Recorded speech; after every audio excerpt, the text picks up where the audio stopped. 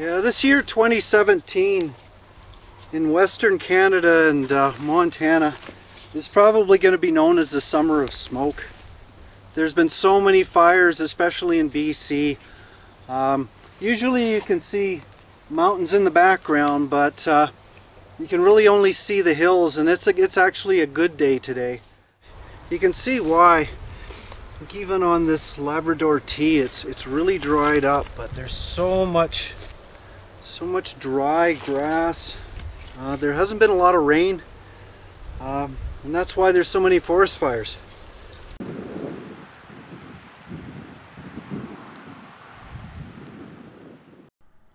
The BC forest fires got really bad in July at the Williams Lake region, but gradually spread in numbers and size to include the south part of the province.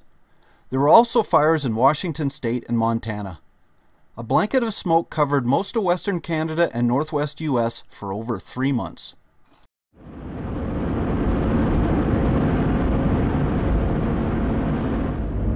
It's smoking.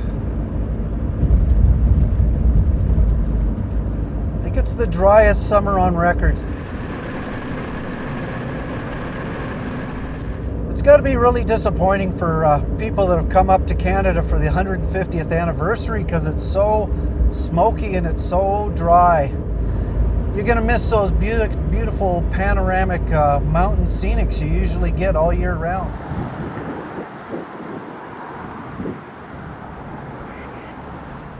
Uh, it's sad.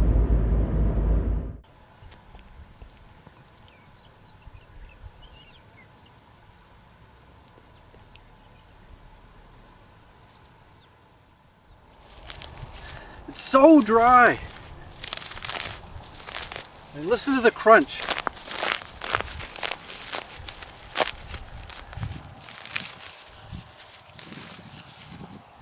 Perfect for fire. Despite fire bans in place, grass fires in the prairie wheat belt were common, and due to high winds, spread in seconds.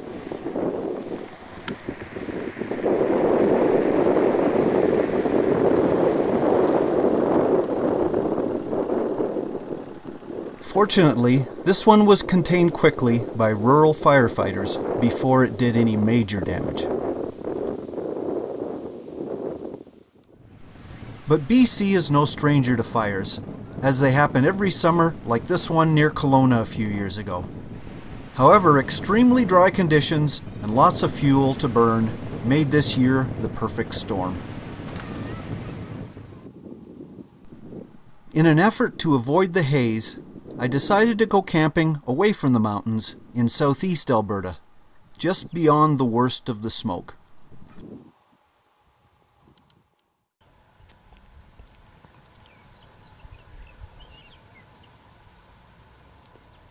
I found a small coulee with a healthy deer population. Looking off the bank, I found out what happened to others who had ventured a little too far.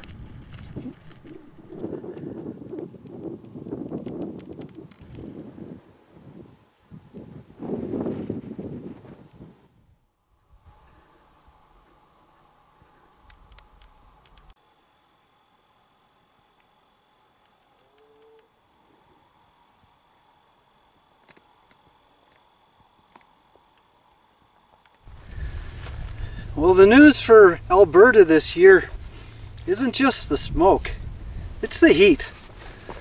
This is the, uh, the southern grassland, and it's September. And right now, it's, if you can read that, 34 Celsius, 94 Fahrenheit. Now for Alberta, that's pretty hot. It's been an unusual year. But it's got to cool down eventually. Whew. Many tourists don't realize that along with the mountains, Alberta has many arid regions complete with cactus and rattlesnakes. After a couple of days, I decided to head north.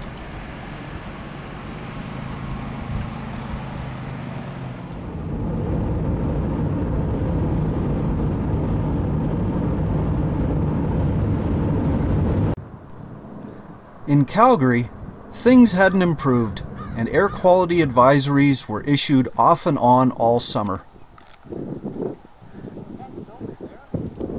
But the worst I encountered was in Jasper in July, when it was so smoky it stung your eyes just stepping outside your car.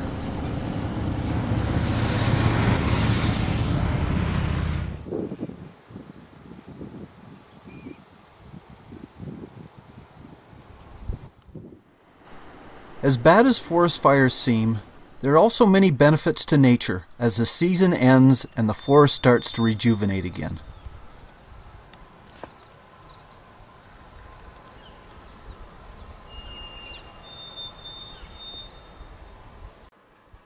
Ground vegetation that was too shaded by trees suddenly takes advantage of the light and the nutrients from the ashes and grows. Most impressive are the wildflowers. More mixed vegetation means more insects, mice, and food for predators, like this fox.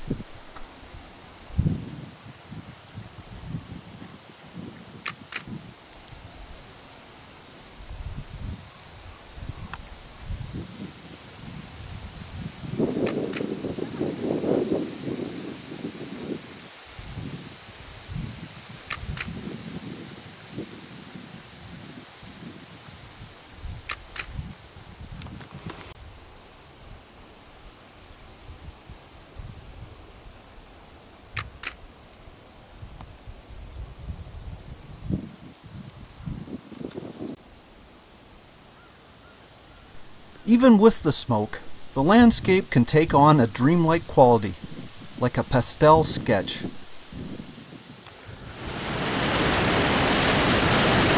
But those that did venture into the mountains would still enjoy the up-close attractions, like Athabasca Falls.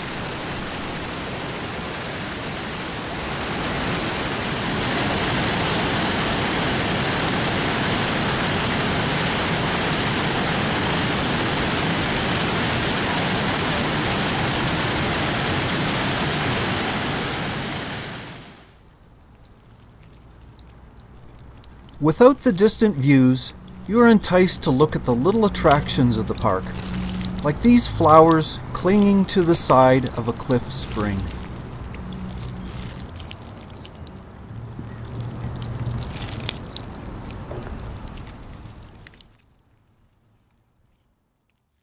Well, despite the smoke, it's still very peaceful and beautiful here.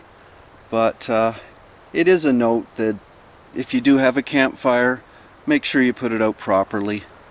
Water it down you know stir up the ashes. Make sure there's no smoke or, or hot spots because uh, one campfire out of control can wreck a whole season.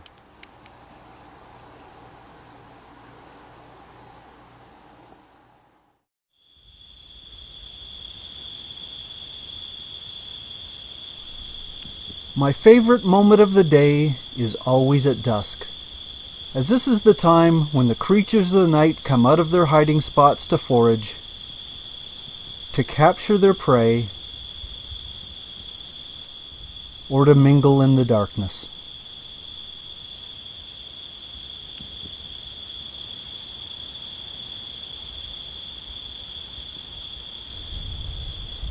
Well, I hope you enjoyed this and uh, check out my other videos as well. Happy camping!